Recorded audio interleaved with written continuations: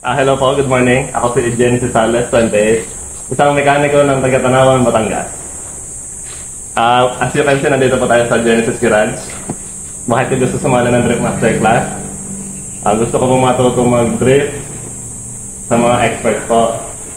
Bata pa lang po ako, interesado na ako sa mga sasakyan. Lalo na yung mga maliliit na sasakyan, yung mga Hot Wheels, Matchbox, gano'n. Tapos, nung mga lumaki-laki na ako, mahilig na ako maglaro ng mga simulator, mga gano'n, racing games, mga Gran Turismo, Forza, na mga gano'n. Tapos, mga ngayon, nanonood ako ng mga tournaments, mga circuit, autocross, at saka yung mga drifting, gano'n sa mga YouTube. Yon. Ito, tapos ito, ito din ang mga dahilan kaya ako nakabuo ng talyer, mga tropa ko yan, at sila mga kasama ko. Yan. Tapos, first time ko na-experience ng autocross itong pandemic. Ah, in- invited ako ng South Shifters. Uh, kay Pau. Salamat kay Pau, naka-invite tayo doon.